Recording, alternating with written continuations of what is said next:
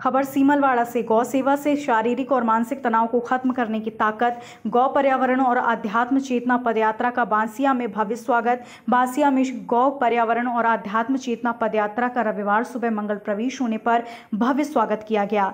ग्रामीणों ने ढोल बजाते हुए किया स्वागत। राजपूत रावला परिसर में गौ कथा का आयोजन हुआ। कथा मर्मज्ञ सुरेश गौपाल महाराज ने नौ माता की महिमा का बखान करते हुए कहा, गौ माता की सेवा करने से अनेक प्रकार की बीमारियों से छुटकारा, कर्ज की मुक्ति, पुत्र प्राप्ति संस्कारवान संसान, संतान प्राप्ति, वस्तु दोष निवारण किया जा सकता है। महाराज ने बताया कि गौमूत्र में साक्षात गंगा माँ और गोबर में माँ लक्ष्मी का वास होता है।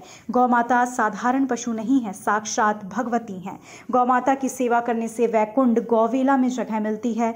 गौ माता की सेवा नहीं करने पर गौशाला का विरोध करने पर नरक की ज़िंदगी जीता है। आदिवासी समाज को हिंदू धर्म से अलग करने की साजिश रची गई है। महाराज ने बताया, चेतना पदयात्रा का राजस्थान का अंतिम पड़ाव चल रहा है, जिसके बाद वो पदयात्रा गुजरात प्रस्थान होगी। चार सितंबर से सात सितंबर तक बीछीवाड़ा में गौकथा का आयोजन होगा। इस मौके पर ठाकुर वीरभद्र सिंह चौहान, लक्ष्मण सिंह चौहान समेत श्रद्धालु मौजूद रहे। परम करुणामयी गाय माता जी की सेवा अवश्य करनी चाहिए।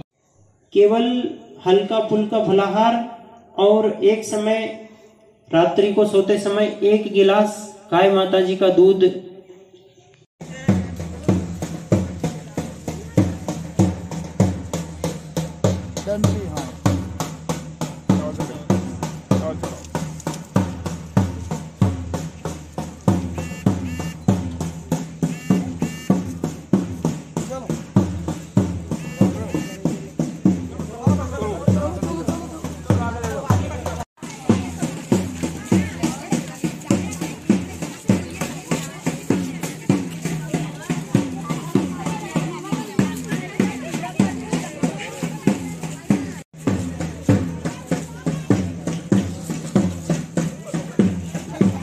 करता गौ माँ की आरती उतारू।